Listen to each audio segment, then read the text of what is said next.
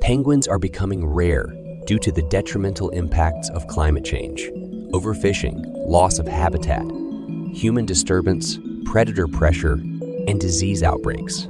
Rising temperatures and melting ice affect their food availability and breeding grounds, while overfishing reduces their primary food source.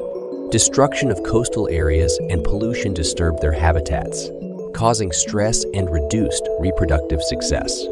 Introduced predators and disease outbreaks further endanger penguin populations.